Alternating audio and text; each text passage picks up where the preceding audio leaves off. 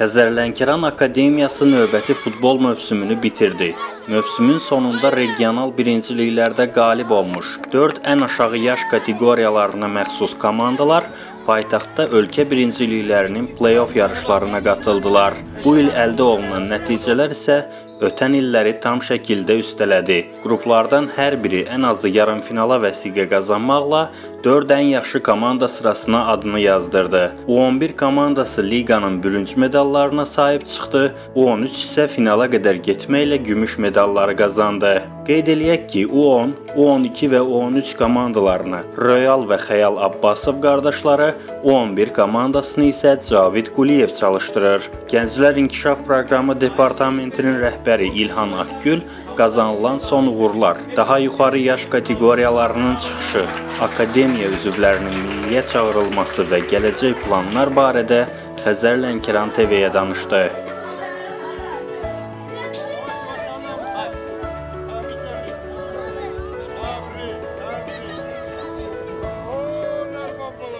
...2014-2015 sezonu bir önceki sezon oranla gerek futbolcu bazında gerek takımlarımızın e, gelişimi açısından e, oldukça iyi geçti.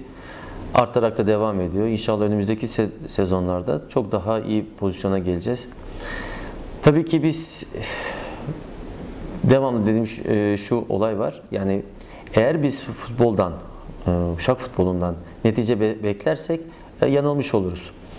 Bizim amacımız burada akademimizde bulunan 160 öğrencimizin Hepsi futbolcu olmayacağını biz biliyoruz ama biz hem kulüp olarak hem kişi olarak ben kendim e, futbolcularımızın sadece futbolcu olarak değil de iyi bir birey, iyi bir vatandaş, iyi bir sağlıklı bir e, vatandaş olarak yetiştirme arzusundayız.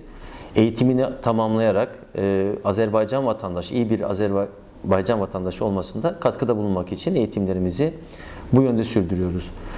Tabii bu anlamda e, her futbolcu olmayacak oyuncuyu da alacak değiliz tabii ki de. Fakat elimizdeki futbolcuların en azından e, iyi bir futbolcu olmasını, Azerbaycan futboluna katkı sağlamasını e, düşünüyoruz. Hem kulüp olarak hem dediğim gibi kendim kendi açımdan.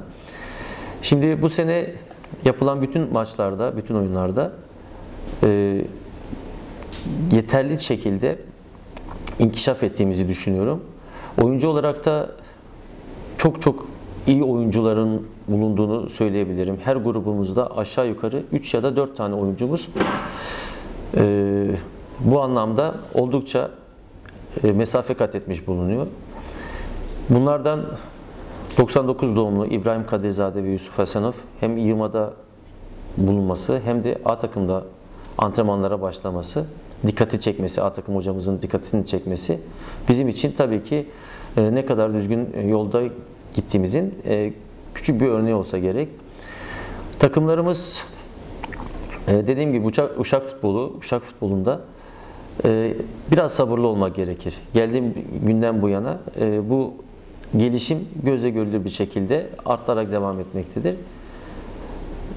Tabii neticelere vurduğumuz zaman bu sene Bakü'deki yapılan finallerde yeni kurulan U10 takımımız bile şu anda yarı finale çıkmış bulunuyor ilk dördün içerisinde Azerbaycan şampiyonatının ilk dördü içerisinde. U11 de aynı şekilde ilk dördün içerisinde. U12 de aynı şekilde ilk dördün içerisinde. U13 komandamızda e, finalde e, yenilmesine rağmen ikincilik madalyasını boynumuza astı. Bunların hepsi e, dediğim gibi hiçbir zaman benim için başarı neticeye orantılı değil. Bizim yetiştirdiğimiz futbolcular sayısına baktığımız zaman esas takımda oldukça akademiyanın yetiştirdiği oldukça futbolcumuz var. Yani 9 tane yakın futbolcumuz var. Bu da bizim için hem e, iyi yolda olduğu iyi yolda olduğumuzu gösterir hem de e, bundan sonraki çalışmalarımızda da bizlere örnek temsil edecek bir e, veri olduğunu düşünüyorum.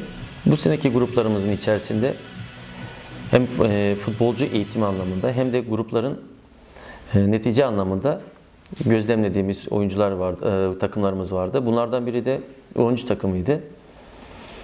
13 takımı e, gerçekten de içlerinde yetenekli oyuncularımızın olduğu, terbiyeli ve Azerbaycan futboluna katkı sağlayabileceğini düşündüğümüz oyuncularımız vardı. Bunlar da e, U12 yaşında olan Musa Musazade'nin de ilave ettiğimizde gerçekten ileride Azerbaycan futboluna katkı sağlayabilecek oyuncu olduğunu düşünüyorum. Zaten onların da e, gruplarda iyi bir performans göstererek finale kadar çıktıkları ve finalde e, yenilmesine rağmen iyi bir oyunla e, gümüş madalya aldığını söylemekte fayda var.